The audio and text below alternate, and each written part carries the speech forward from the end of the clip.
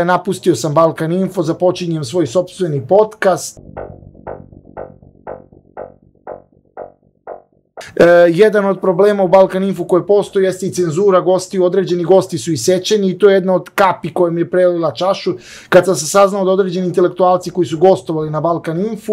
e, određene emisije gde su oni govorili negativno o aktualnom predsjedniku su bile isečene, da je u montaži izbačeno po 10, 5, nekome 2, 3 minuta, bez znanja tih gostiju. Razlog zbog e, toga zašto se to dešava, izgleda da je neko u Balkan Info produkciji tačno znam ko, to je jedna osoba pod kojoj ću podneti tužbu, ovih dana i tužit ću ga za autorska prava, sklopila deal sa režimom Aleksandra Vučića i to je jedan od razloga zašto Balkan Info ima uređivačku politiku koja je u zadnje vrijeme daleko od opozicione,